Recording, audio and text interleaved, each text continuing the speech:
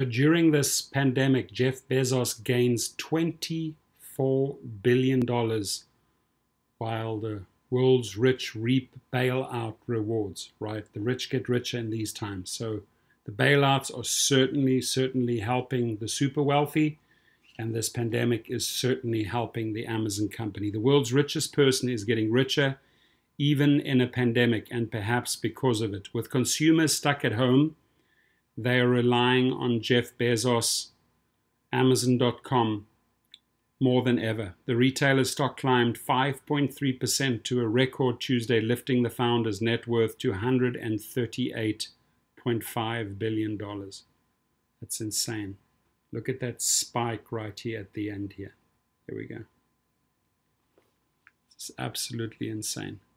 The pandemic has brought the global economy to a near standstill and pushed almost 17 million Americans onto the unemployment rolls in the span of three weeks.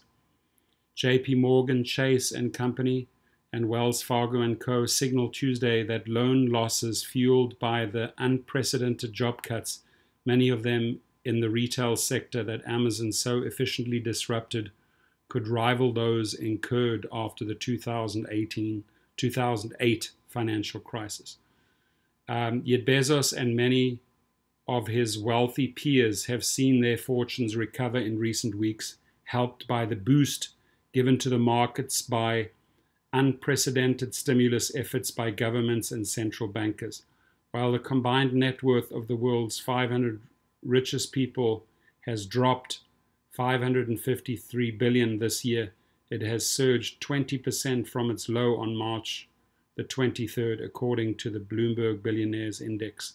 The wealth gap, it's only going to get wider with what's going on now, said Matt Maley, Chief Market Strategist at Miller Tabak & Co.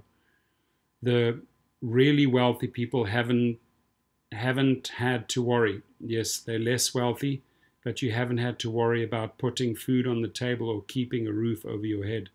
It's not just the billionaires, corporate insiders have been significant buyers of their company's shares, a show of confidence that the crisis will pass, even as the nation's leaders debate exactly when Americans can safely return to work.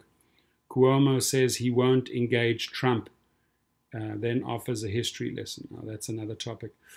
The volume of transactions in beaten down industries, from travel to health, care to gaming suggests executives and directors are more bullish than they've been at most other points in the past decade, according to Sundial Capital Research.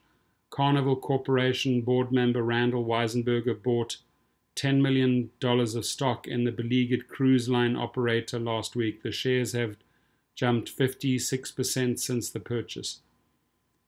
Um, UBS Wealth co-head sees clients adding leverage to place wages. Other, others are going further to maximize returns. UBS Group AG is seeing ultra wealthy clients ramp up borrowing to place more wages in what they see as a cheap market. Mortgage brokers to the rich have said um, more clients are seeking loans backed by real estate to help them repay other debt, invest in businesses, and snap up other assets. Um, there have been massive losers among the money, the moneyed set.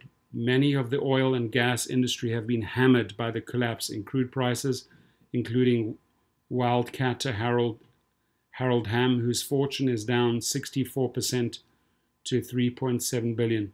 Emerging market billionaires aren't reaping the same rewards as those in the United States, and there have been margin calls and forced sales. But there are also have been remarkable gains.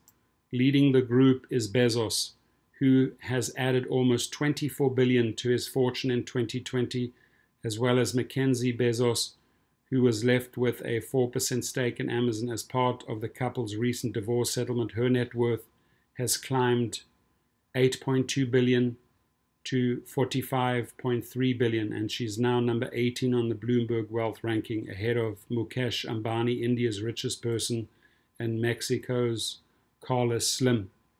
Shares of rival retailer Walmart have also advanced buoying the fortunes of the world's richest family. Alice Jim and Rob Walton now have a combined net worth of 169 billion, up almost 5% since the start of the year. Tesla um, chief executive officer Elon Musk has added 10.4 billion to his fortune this year, more than anyone except Bezos. Uh, the fortune of Zoom Video Communications founder Eric Yuan has more than doubled to 7.4 billion as demand for its teleconferencing service exploded in the wake of the pandemic driven lockdown. The unfairness of it all is who is going to benefit from it most. Maley said, Money makes money. Very true. Um, so yeah, interesting, interesting article. The rich definitely get richer, uh, while other people are waiting for their $1,200 stimulus check. Have a great day.